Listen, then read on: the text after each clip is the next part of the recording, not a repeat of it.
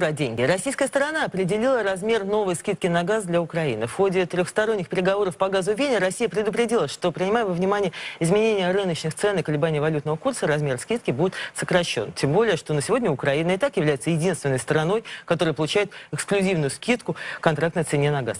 Таково было решение правительства и президента.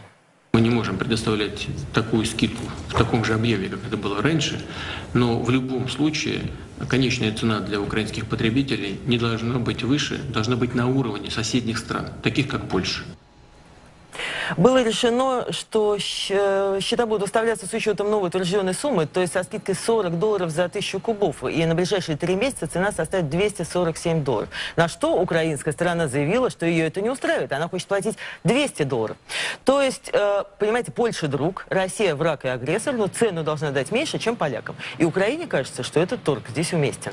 А в результате предоплаты за этот месяц не сделаны. И с 1 июля «Газпром» официально сообщил о прекращении поставок на Украину. Впрочем, пока украинская сторона заявляет, что транзит газа в Европу продолжается в полном объеме. Но она по-прежнему желает выяснить отношения с Россией в Стокгольмском арбитражном суде.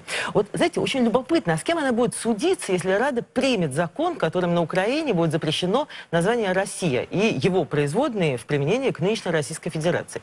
Будущий закон так и называется «О запрете использования исторического названия территории Украины и производных от него слов в качестве названия или синонима Российской Федерации. Использование такого названия для обозначения современной территории Российской Федерации или любой ее части.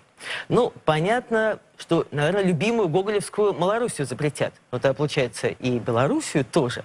Вообще, эта идея настолько абсурдна, что даже трудно представить, как будет выглядеть правоприменительная практика. Однако ведь от Рады всего можно ожидать. Они, знаете, слово «чашка» могут запретить или «лето». Но законопроект о запрете России фракции радикальной партии уже внесен, и я не удивлюсь, если осенью он будет успешно принят.